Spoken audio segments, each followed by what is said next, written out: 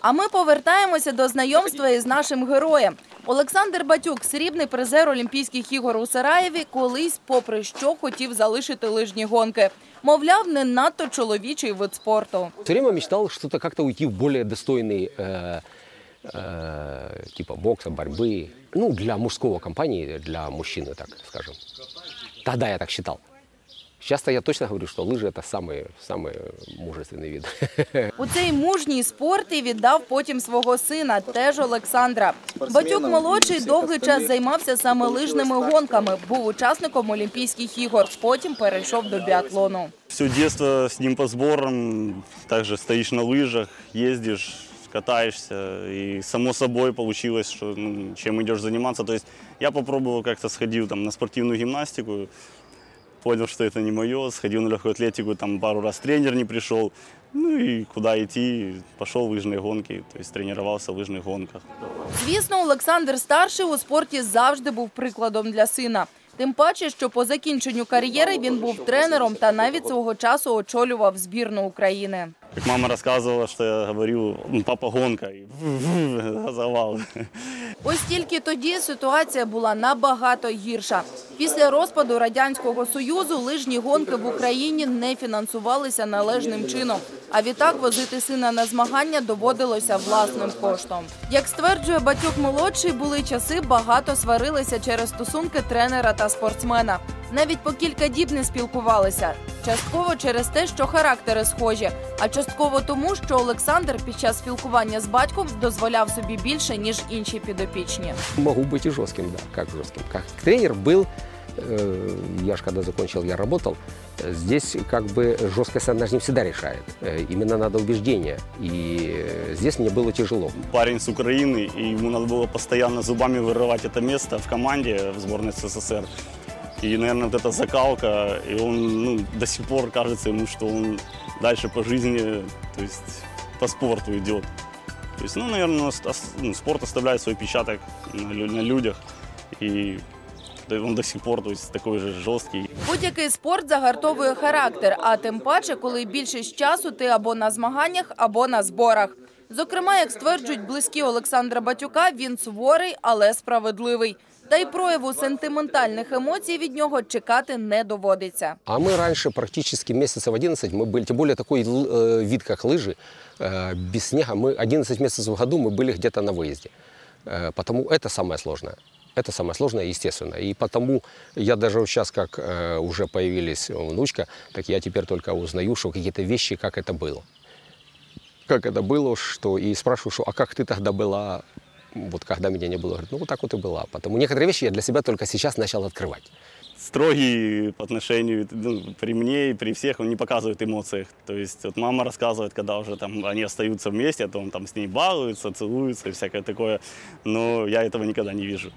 А ми тим часом вирішили перевірити, як виховують майбутніх чемпіонів. І сьогодні йтиметься про лижників, котрі ще й вправно стріляють. Як юних спортсменів вчать поєднувати швидкість із холодним розрахунком, тактикою та вмінням зосередитися. Наразі нас чекали у спортивній школі з біатлону. Загалом багато лижних гонщиків, особливо молодих, вирішують удосконалити свою майстерність і переходять у інший вид спорту, а саме в біатлон. Так само, як і син нашого героя Олександр, який вже показує непогані результати на світових аренах.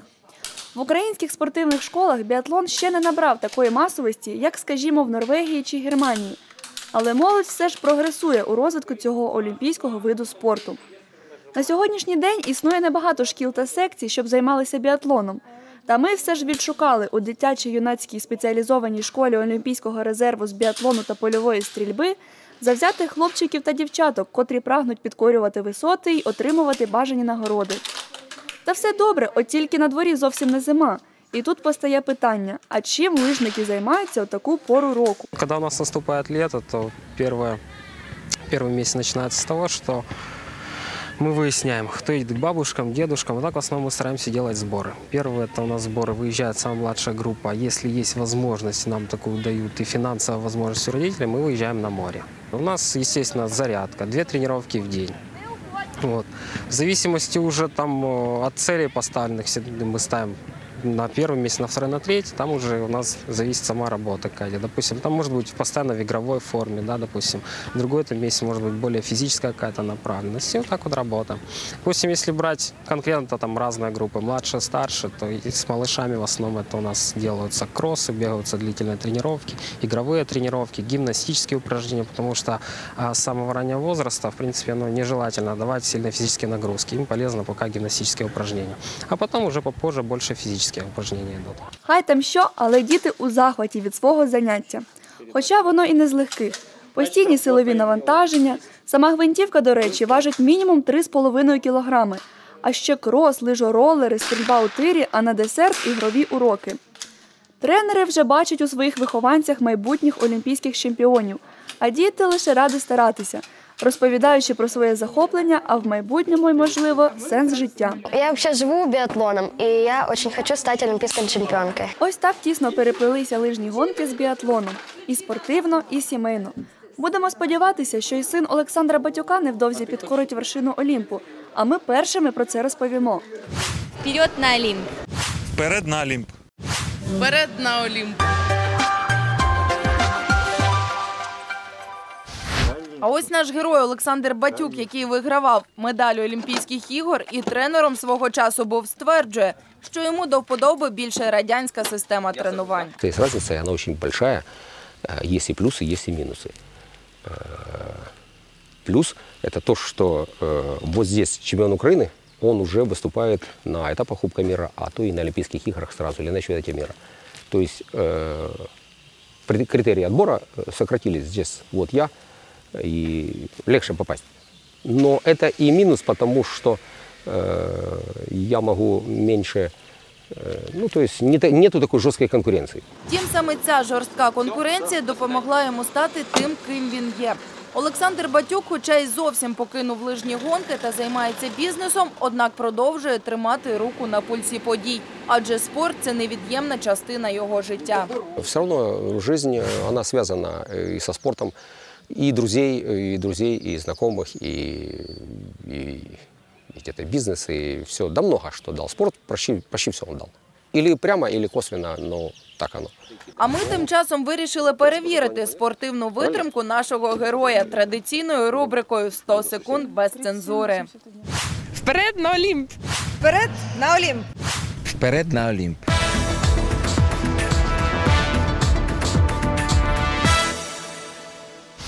Коли відзначається День Конституції України? Дальше. Найщасливіший день вашого життя.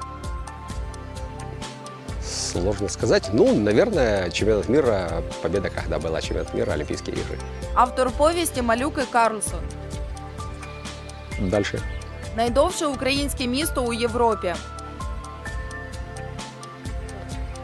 Харьков, может быть.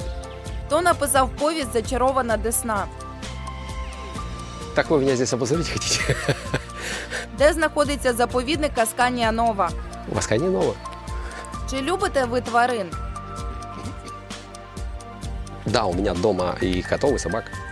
Улюблений предмет у школі, Физкультура, конечно же. И пение. лідер гурту Акваріум. Дальше. Полюбляєте жартувати над іншими? Немножко есть. Томас Едісон винайшов радіо, лампочку чи рентгенівське випромінювання. Лампочку.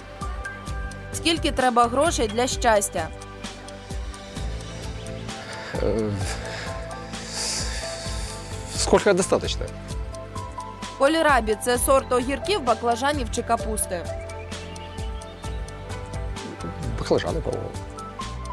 Без яких рис характеру неможливі спортивні досягнення? Без силы воли. У якому сузір'ї знаходиться полярна зірка? Медведица. Подарунок, що найбільше запам'ятався.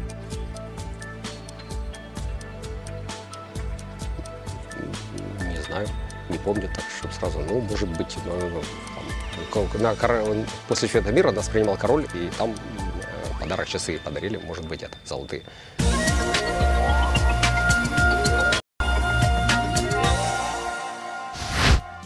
так, крок за кроком і добігла свого кінця наша сьогоднішня програма. Прощаємося з вами на тиждень та, звісно, просимо нашого героя, призера Олімпійських ігор 1984 року з лижних гонок, поділитися своїм здоровим рецептом успішного життя. Наверное, не последнее место э, в моих жизненных успехах з- э, было именно занятие спортом. По-любому это помогло справиться с теми жизненными трудностями, которые я испытывал на своем жизненном пути. Естественно, это и здоровье, это и долголетие, это и просто физическая активность. Потому занятие спортом полезно всем и в любом возрасте. Занимайтесь, и будет все хорошо.